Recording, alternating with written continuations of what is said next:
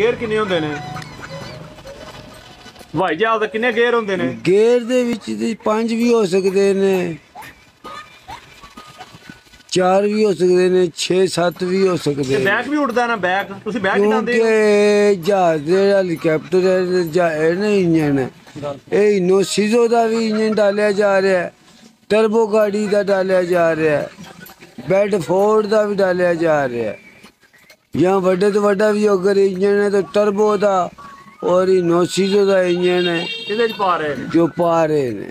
ਠੀਕ। ਇਹ ਨਹੀਂ ਕੋਈ ਵੱਖਰੇ ਇੰਜਨ ਨੇ ਨਹੀਂ। ਇਹ ਕੋਈ ਦੇ ਬੈਕ ਇੰਜਨ ਵੀ ਨੇ। ਉੱਡਦਾ ਜਹਾਜ਼ ਬੈਕ ਵੀ ਉੱਡਦਾ ਨਾ ਪਿੱਛੇ? ਸਿਰਫ ਇਹਦੇ ਵਿੱਚ ਜਿਹੜਾ ਇਹਦਾ ਸਿਸਟਮ ਹੈ ਨਾ ਡਾਣ ਵਾਲਾ ਉਹ ਲੱਗੇ ਇਹਨੂੰ ਡਾਣਾ ਕੈਸੇ ਹੈ ਬਿਠਾਣਾ ਕੈਸੇ ਉਹ ਲਿਵਰਾਂ ਵਾਲੇ ਵੀ ਨੇ ਤੇ ਬਟਨਾਂ ਵਾਲੇ ਵੀ ਨੇ। ਇਹ ਬੈਕ ਵੀ ਉੱਡਦਾ ਜਹਾਜ਼ ਬੈਕ ਪਿੱਛੇ ਵੀ ਉੱਡਦਾ ਨਾ ਬੈਕ? ਨਹੀਂ बैग जा नहीं सकता ये ये ऊपर जा सकता है नीचे आ सकता है आगे जा सकता है